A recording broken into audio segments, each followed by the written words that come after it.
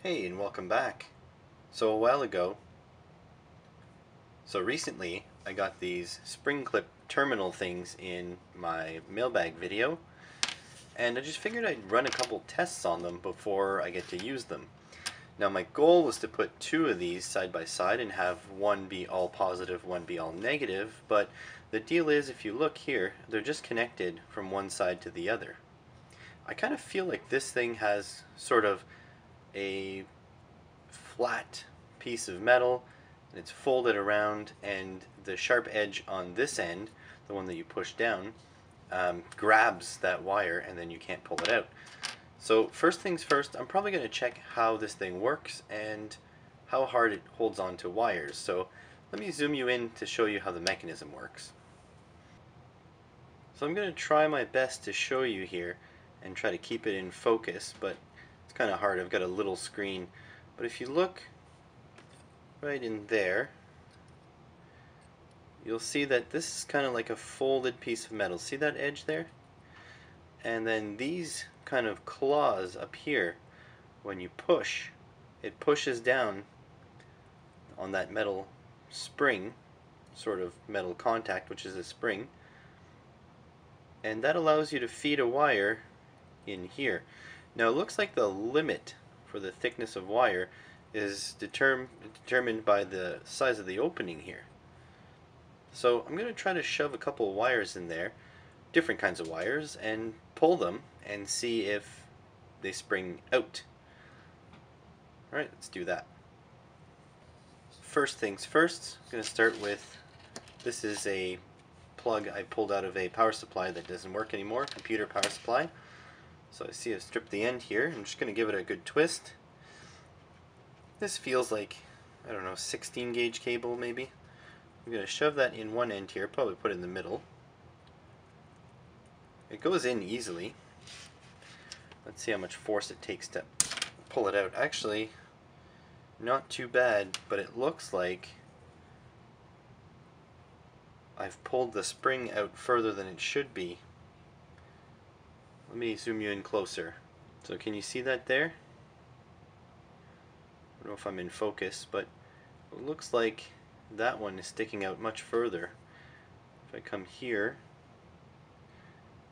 looks like this end is in a bit more than it should be. Interesting. wonder if I can pull that one out now. Does look like I'll be able to wedge something in there just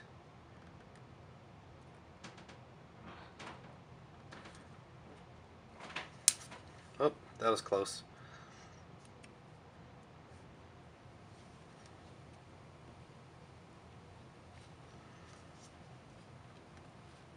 I don't actually know what's holding this all together. I'm going to just try to pry it out. I don't mind wrecking one, especially to figure out what's going on inside. So that's that tab kind of lifted now. I'm gonna, okay, I'm going to grab a pair of pliers and try to pull it out the rest of the way. Well, couldn't find pliers in the nick of time, so just grabbing these side cutters should be the same same deal. Try to yank this out. There we go. Okay. Interesting bit of construction here. Let me zoom you in. Okay, so here's the contact inside there. So it is a spring. So this gets pushed down and it's supposed to rest against the top of the housing. But then you have this kind of hole in the middle which I suppose fits on a post. Uh, you can kind of see that post in there. Which is interesting because that means that the current handling capabilities is reduced because look at how small this section is. I may have something to measure this for you. Here's come the calipers. So the overall width of this strip is about 5.2-ish millimeters. But that hole makes it so that the smallest section is 2.6 millimeters across So that will actually limit the current handling capabilities of this. I wish I had a load kicking around that I could put through this and see how hot it gets. I could short it though. Maybe we'll try that. So here's the operative plan. I have this power supply. It's the, um, don't know if you can see that, Minghe D3806. It can put out uh, 38, up to 38 volts and up to 6 amps. So that's a lot. That's a lot of wattage. Um, I don't know if it can provide the whole thing. I'm kind of providing it through these little mm, dinky cables here. Pretty much this will stress test my entire rig, but we'll see. It's it's due for an upgrade anyways, so we'll figure it out together, I guess. But here's the operative plan. I'm going to supply this with as much wattage as I feel comfortable. Maybe we'll start with around 25 watts, and maybe then we'll go up if we can. I'm going to solder some wires onto here, onto that little metal plate, and then I'm going to run the some thick wires, right, the soldered thick wires, and short as possible into these terminals here. And we're going to check the temperature of this as the current passes through.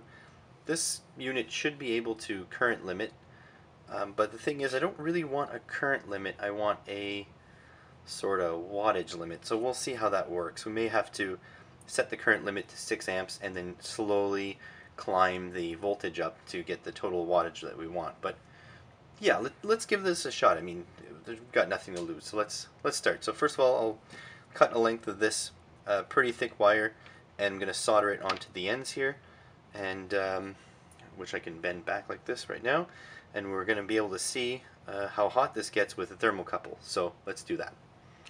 So here we've got 14 gauge wire and I I mean I think this should be enough it's hard to say I did crank up the temperature of my soldering iron up to uh, 400 degrees Celsius because I'm not sure how yeah how much heat this is gonna pull away plus this is in my helping hands but well, I mean we'll see we'll see we're working on this together right so I'm gonna clean my soldering iron tip and I'm gonna heat this up and see if this will take the heat. So the iron is definitely hot, but I need the metal to become hot. It's kind of funny that I have to heat this up in order to see how much heat it's going to take. Doesn't really look like it's sticking now, does it? Seems to be dissipating the heat as fast as I can put it in.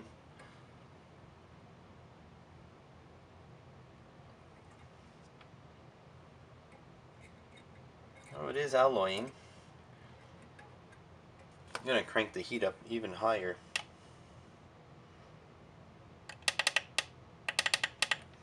I'm at 440.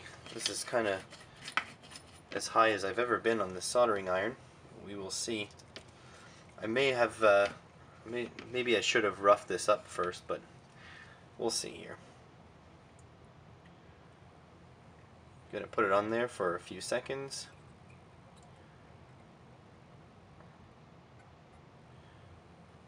It is alloying. Very little bit though.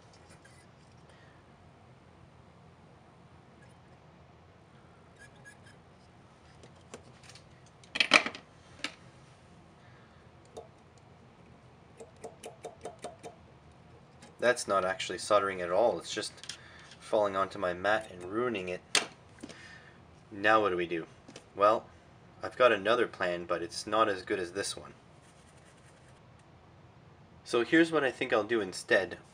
We're going to take this block, now the, the middle pin is gone, so I'm going to put this in like this in the helping hands, or maybe even sideways somehow, and then I'm just going to clip the wires in and then we'll see how hot it gets just with a, a, a short like that, right?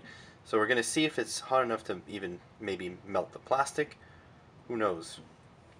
So I'm going to take that. I'm hoping, since we didn't get to the other tests I wanted to do, I'm hoping that this uh, 14 gauge wire will actually fit in here. Maybe first I should just pop it into my power supply here going to put it like this.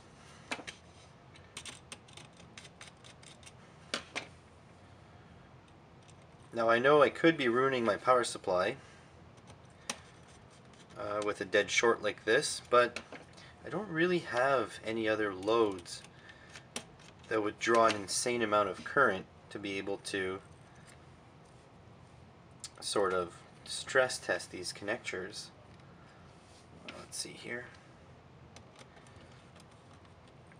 Because don't forget, like, I'm testing this to destruction, but uh, destruction is not really the point. I'm not, uh, not actually going to use these things for anything too critical. It's just to make quick connections. So let's see, does a 14 gauge wire fit in there? Oh, just barely fits in there. And I'm going to go the other end. Make sure it's twisted like that. Okay, punch this down.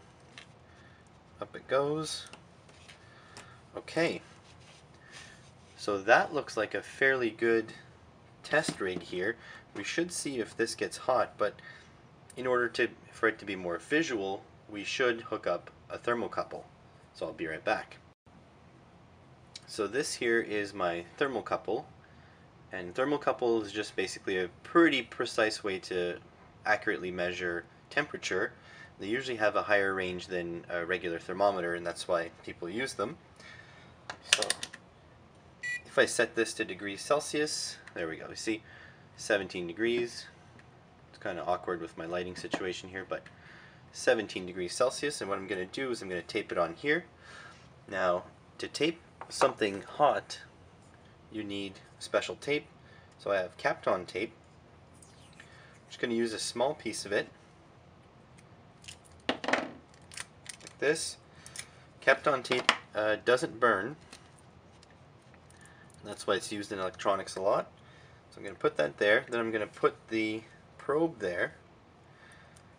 And then I'm going to tape over it so it doesn't go flying anywhere. I don't know why it took me so long to finally order Kapton tape. But anyways, that's a story for another day. There we go. Okay, so now my probe is uh, protected. If the plastic melts, then I'll have you know, it, it will it won't uh, it won't damage the probe or any way. Uh, if this thing catches on fire, well, don't really have too much of a plan for that. I guess I do have some metal kicking around. Maybe I should get that ready. What's in here? So if the whole thing catches on fire, I have this storage box here with some 18650s take the 18650s out and I'll have that to the side. So YouTube safety community, I got you. Okay, so that's there. I'm going to turn on my power supply. So this thing is being fed by 24 volts. Uh, so, you know, it's the wiring being so tiny is not that big of a problem.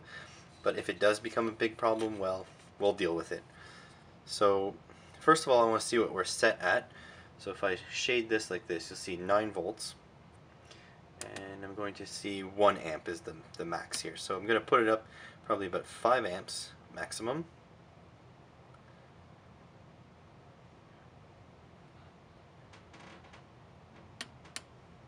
This thing may have short circuit protection, so it may not actually work for this, but we'll give it a shot.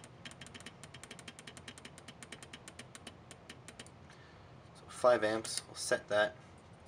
Set. I'm going to drop the voltage down maybe, I don't know, a couple volts. Go 5 volts, sure. Technically, this will be 25 watts.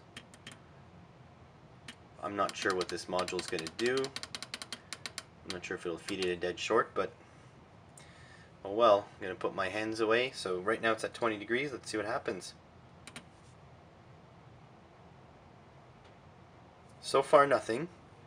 If I shield this you'll see um, 0.24 volts I believe. Yeah, 5 amps. Not sure how accurate that voltage measurement is, but here it goes. It's climbing up. It's, it is getting warmer. These wires getting warm? Nope. Terminals aren't getting warm either.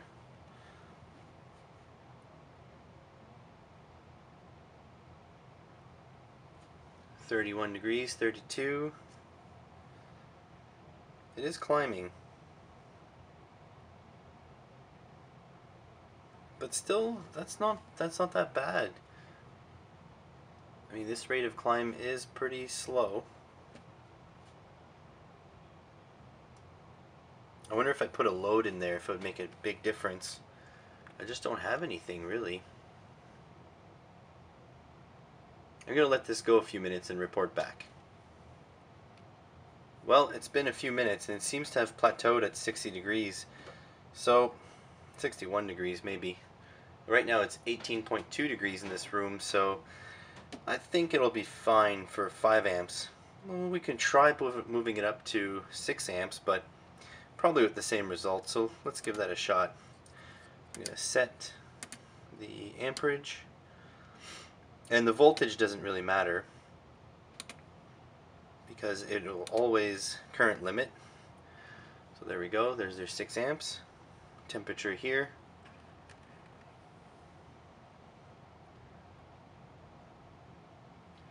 Yeah, I mean, it's just not doing anything.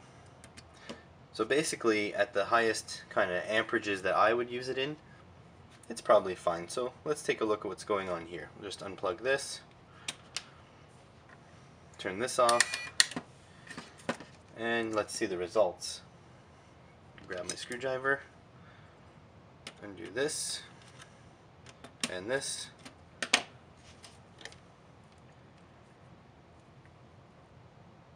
These wires are warm to the touch, but not hot. These wires here should be about 60 degrees ish. Yeah, actually they're they're cold.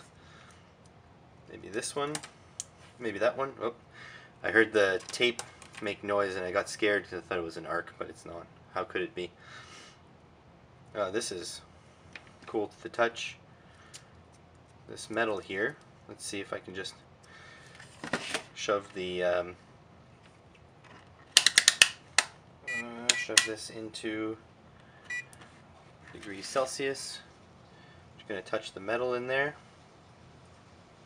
Yeah, it's cooled down pretty quick. So yeah, at 5 amps, everything's good to go. So pretty much 5, 6 amps, what I would use it for. I think these are a pass, but let's do a couple extra little tests and then we can move on.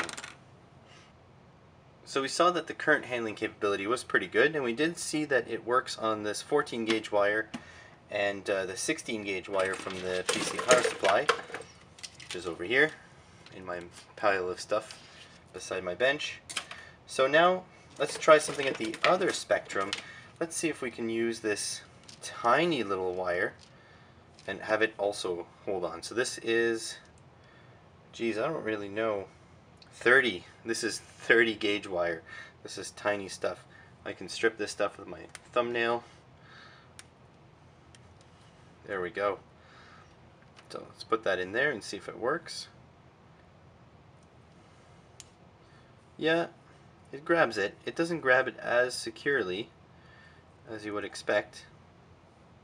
There we go. So it does grab it, just not as well.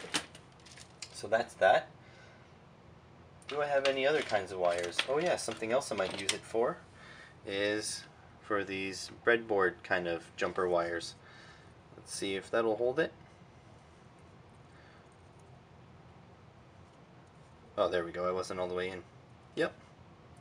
Actually, this is kind of one of the most sturdy holds yet, so this is perfect. Let's see if I can just pop like an LED directly in there. Seems like you have to go in far enough to catch the hooks there. But yep, that works well. Takes a moderate amount of force to pull it out. Yep. So that's good. So yeah, I think these things are a win. They even have these mounting holes here for a 3mm bolt. That's a 3 millimeter bolt here with the hex head. Can put that in there. So it doesn't actually clear the plastic. Let me just zoom you in. It doesn't actually clear the plastic here, but it looks like if you carved a little bit out, because it doesn't matter, right? If you look when you flex this, the middle doesn't move. So if you carve a little out, you can actually bolt this on something pretty solidly. And that's pretty nice. So yeah, overall, I would say for the few cents each that they cost me, I'd say these are pretty good. I recommend you buy them. Thanks for watching.